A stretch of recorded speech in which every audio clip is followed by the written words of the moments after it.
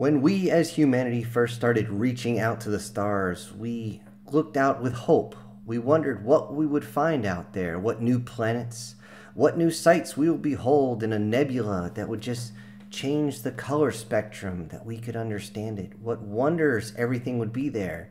But the one thing we wanted to figure out most of all was to answer the Fermi's paradox. Was there truly other life, sentient life, out there in the cosmos? Now, the math says yes, but we wouldn't know until we verified it, and off we went into the stars for years.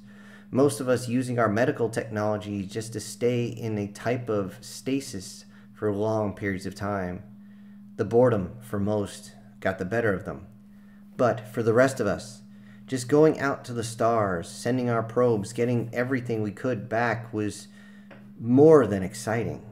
The anticipation of them was usually more exciting than what we got, as most of the probes would simply scan a planet and find out that it was a simple rock, a gas giant, or had not developed any type of animal, any type of anything beyond the flora, no fauna at all. It was disheartening to say the least.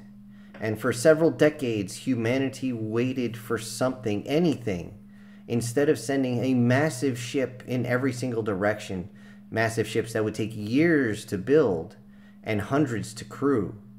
Out for years and years and years, it was just more economically feasible and a hell of a lot faster to send out probes that could simply go into each sector, scan it, and come back and re Turn all its data so that we could analyze it and find out. And it was around this time that we finally received something, something that made everybody's ears perk up just a little bit. On this planet, which was very similar to Earth, it was its second planet from its star. We found out that there was a sentient species this sentient species had not only gotten beyond its own dark age, but it was well into its industrial age, if not a little further. If they hadn't reached their information age by the time we got there, they would soon reach it as we would help them along, as other species had done to us. Yet those species were unfortunately not around anymore as we kind of took care of them. We didn't like being manipulated. I know. Hypocrisy, right? Regardless of that, eventually we were sent out in several ships to their sector. It took a long time for us to finish building the ships, to crew everyone, train them, and then send them out into the ether. Even with FTL speeds, it would take years to cross the cosmos. It had already taken years for probes to reach out and come back. But we set out with hope in our hearts and wide eyes. As we got close, we realized that there was something strange on the recording.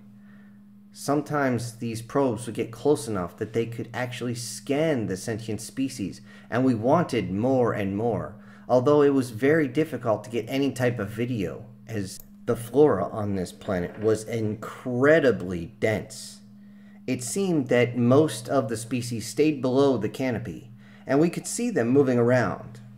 We had heat sensors that we could see different groups. We could see them building their fires and things of that nature. We could kind of make the outside of their buildings.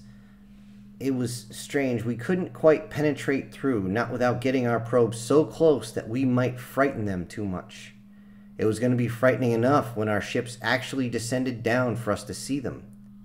But one of the key things that came up was that they moved like us bipedal, two arms, two legs. But what really surprised us is when we got just the slightest bit of data on them, we found out that they were feline in nature. This made everybody wonder what in the ever loving crap is going on. Were we starting to reach down the otaku path and Suddenly, we're going to have cat boys and cat girls mixed in with our crew. This obviously made a few of our crew drool a little bit at the ideas. Yet those ideas were promptly squashed, as many of us who actually were able to hold on to our own sanity smacked them around a little bit and brought them back to reality. It would still be a while before we reached our destination, and the last thing we need is these horny balls just going crazy, just in anticipation. So most of them stayed in stasis for the entire duration of the rest of the flight. When we finally got into their sector, it was a bumpy ride. There was a lot of gravitational fields that we had not quite picked up, so they simply pulled our ship left, right, up, down, center, and backwards a few times when we were not expecting it. Of course, injuries were common when that happens, but they were not anywhere near life threatening. All of us were more than a little excited when we realized that they had tried to contact us. They had their own version of SETI set up. Now, it wasn't quite designed the way we would, but it was still functional. And as we got closer, more and more of their transmissions came out. And these transmissions came out simply in their language Hello? We can see you. Could you answer us? Who are you? Simple messages like that gave us a lot of hope.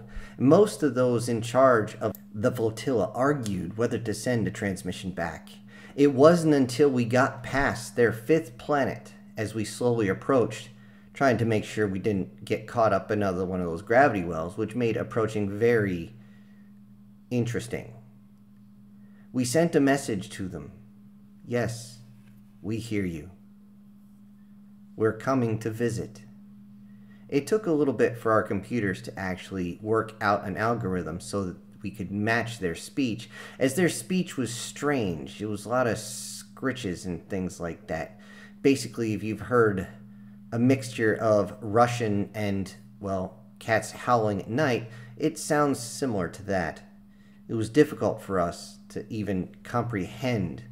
Thankfully, our translators had been working just fine. In fact, they had to work overtime and we had to adjust them to make them even better so that we could understand their language. As we began to approach, we were just outside their lunar orbit when we held up. We didn't want to get any closer, as any of their three moons might cause us to uh, have some issues up here. So we simply send a message asking them, May we come down and say hi? They gladly agreed. And in fact, I was on one of the first ships that went down. A small, very small dropship. We didn't want to frighten them. It was completely unarmed. And except for those of us who had small arms attached to our hips, we were completely unarmed. We did not want to scare them at all, as first contact operations are always the most dangerous. And as we went down, we saw that they had built a platform just above the canopy. We looked, and there was a small area where it seemed like a delegation was holding up. We could see some on the steps looking at us. We looked down and we could barely make them out waving at us, but we couldn't quite make out what they looked like.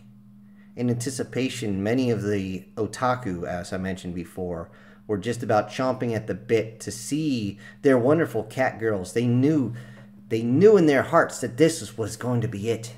They wanted, if nothing else, one of them to say, meow, or as they put it, nya. I didn't understand this, nor did I care.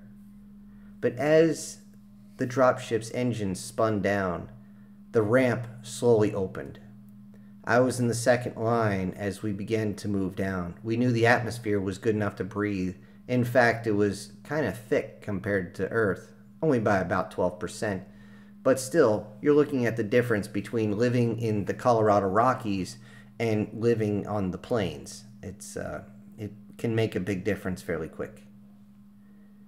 And as we walked down, we looked over to see the delegation walking out, and what we saw amazed us.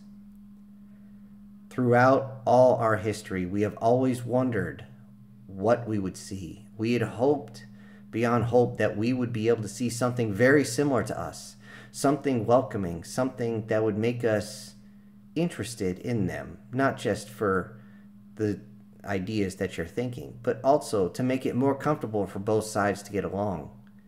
As we had known, those that tried to guide us were humanoid, if you would say, but not quite close enough. It made people nervous. As we watched the delegation approach, we weren't nervous. We tried not to laugh. What walked towards us was two and a half foot tall tabby cats dressed in sparse uniforms, many of them holding their version of a rifle, which was barely big enough to be considered a handgun to us. Without skipping a beat, I knew this was going to happen. One of the younger ladies behind us go, "Oh, how cute!" Immediately, we all snapped and looked at her, reminding her to shut her yap. The delegation walked up, and thankfully, they simply came up and welcomed us onto the planet. I'll tell you what, there's a lot of things that you could find out here in space. You can find all sorts of different plants. Many of them are edible and quite tasty. Others are enough to kill you just by being close.